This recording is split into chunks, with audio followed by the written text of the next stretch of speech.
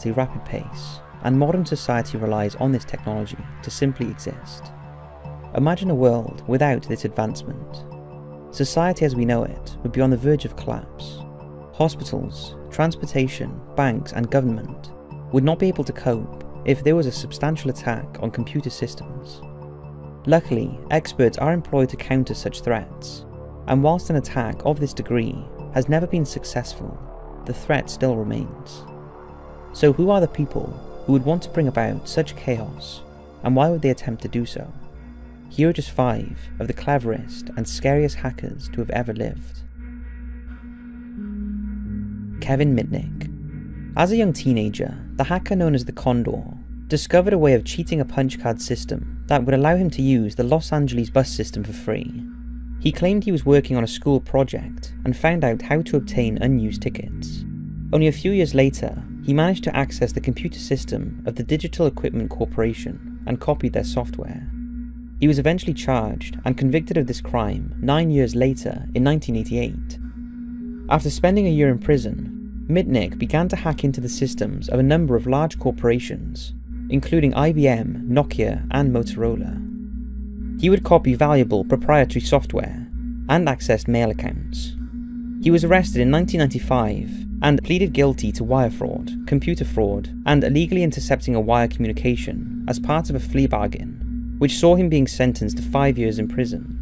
Whilst in prison, he was kept in solitary confinement for eight months for fear he could use a landline to hack into government computers.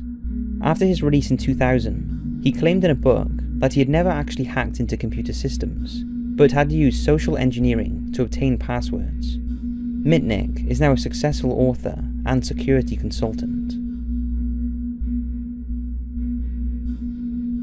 Michael Calce the hacker known as Mafia Boy first developed an interest in computers at the age of 6.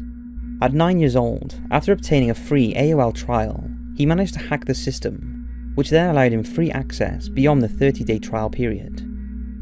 By the time he was 15, Michael had succeeded in pulling off such an incredible act that cybercrime laws were drawn up as a direct result of his actions, with the authorities shocked that a boy of his age could have carried out such a hack. The teenager from Quebec, Canada, had got more involved in online hacker groups, and in 2000 began his attack that made him famous. He started to take over a number of university networks simultaneously. He created a situation where all the networks were responding at the same time, resulting in it being overwhelmed. Within hours, using the same methods, he targeted the networks of Yahoo, then the largest online search engine, Amazon, CNN, Dell, E-Trade, and eBay. All of these sites were paralysed by Michael's actions. The FBI eventually caught up with him, and in September 2001, he was sentenced to eight months in youth custody. Today, Michael works as a white hat, someone who identifies security flaws in networks, and has also written a number of articles on the subject. Steve and Steve. It's hard to believe that two of the most pioneering people in the world of technology began their careers as hackers. Not exactly the scariest hackers the world has seen, but they deserve a mention due to their future fame. In the late 1960s, a man called Steve was studying at the University of Colorado, but was expelled from there for hacking into the university computer system. After meeting with a friend in 1971, both became known as phone phreaks. Phone phreaks were hackers who illegally broke into telephone network systems and would use this knowledge to make long distance phone calls for free or tap phone lines. Together they created a device known as a blue box that would be used to emulate telephone signals, which tricked automated telephone exchanges into thinking it was receiving genuine information. Once inside the network, calls could be made, yet would be untraceable.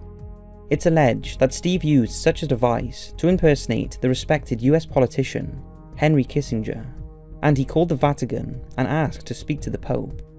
Realizing the commercial value of such a device, the pair started selling them illegally. After nearly being caught by the police, the two decided to give up their criminal ways and founded a company that is synonymous with the world of technology. The company was Apple, and the pair were Steve Wozniak and Steve Jobs. Matthew Bevan Matthew Bevan is a Welsh hacker who went by the handle of Kuji in 1996, at the age of 21, he was arrested after hacking into US government networks, initially into the Griffiss Air Force Base Research Laboratory in New York, then later into USAF, NASA, and NATO. Bevan claimed that he was researching information on providing a UFO conspiracy theory. He used a simple Commodore Amiga computer, along with a program called Roxbox, that simulated tones sent out by a telephone operator's dialing console. US Special Agent Jim Christy had stated that Bevan's actions had the potential to have started a Third World War. Bevan, as well as his alleged accomplice Richard Price, had transferred information from the Korean Atomic Research Institute to the USAF system. Had North Korea spotted this, they may well have thought that they were under a cyber attack, and may have retaliated with a physical response. However, the data belonged to South Korea and was therefore less sensitive. Despite a number of investigations before his arrest in 1996, at his trial 18 months later, the British Crown Prosecution Service decided that it would no longer pursue the case, resulting in Matthew being fully acquitted of any wrongdoing. He now runs his own website. Jonathan James In September 2000, Jonathan James of Miami, Florida became the first minor to be convicted of a cybercrime. Aged just 16, James, who operated under the name Comrade, was found guilty of juvenile delinquency as his age prevented any law drawn up being applied to his crime. His sentence of six months of house arrest seems today to be lenient, especially when we consider what he had done. At the age of 15, the US Department of Defense discovered that James had hacked into schools and a number of private companies, alongside government agencies, including NASA. Despite stealing software and information from NASA valued at over $1.5 million, James had yet to implement his greatest intrusion. In the late summer of 1999, he gained access to the Department of Defense systems, which monitored and analysed threats to the United States. A series of attacks on government systems in 2007 led the US Secret Service to suspect that James was behind them. It later turned out to be the work of a hacker named Albert Gonzalez. The incident proved to be a turning point in the young life of Comrade, who feared his reputation made him the guilty party. In May 2008, James was found dead from a single gunshot wound. A suicide note was found, stating he believed he was to be convicted of cybercrimes he had not committed. So that's 5 of the internet's scariest hackers.